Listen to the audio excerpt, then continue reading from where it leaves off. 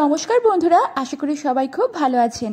আজ চলেছি আমি আর আমার দাদা দুজনেই মিলে ঠাকুরকে শাড়ি পরাতে। আর এখন এখানে আমরা টোটোয় করে যাচ্ছি।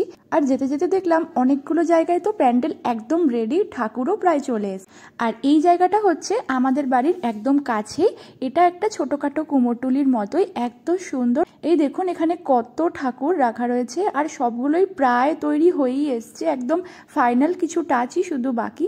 এক একটা প্রতিমা তো এক এক রকম আর প্রত্যেকটাই ভীষণই সুন্দর হয়েছে।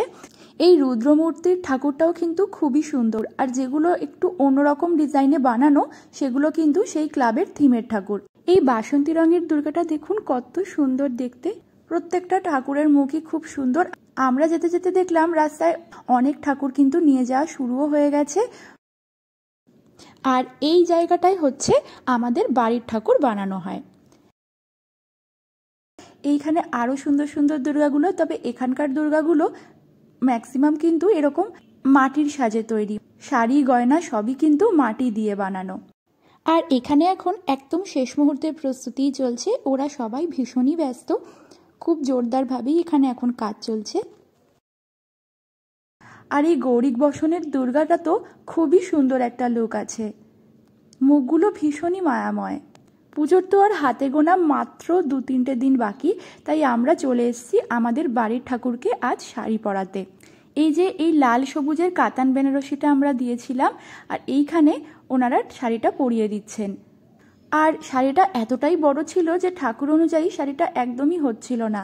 সেই জন্য এখান থেকে এক্সট্রা যে ব্লাউজ পিসটা ছিল শাড়ির, সেটা ওনারা কেটে ফেলে দিলেন।